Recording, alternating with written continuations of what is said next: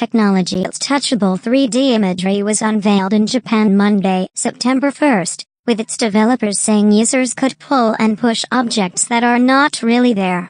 Know how that could improve a gaming experience, or allow someone to physically shape objects that exist only on a computer, will soon be available to buy, said Miraisens, the high-tech firm based outside Tokyo.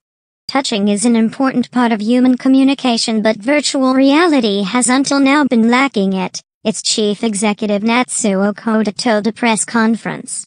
This technology will give you a sense that you can touch objects in the 3D world.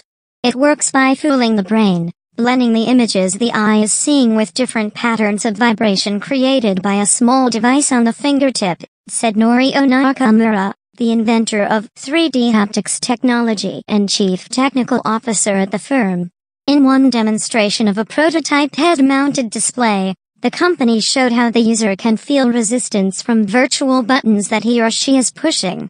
Miraisens is a spin-off of the National Institute of Advanced Industrial Science and Technology based in the city of Tsukuba east of Tokyo. Billing the technology as a world first, the company says it wants to commercialize it through applications in electronics and the services industry. The system can be built into devices in the shape of coins, sticks or pens, amongst others. Company officials said they could foresee a number of ways of using the technology.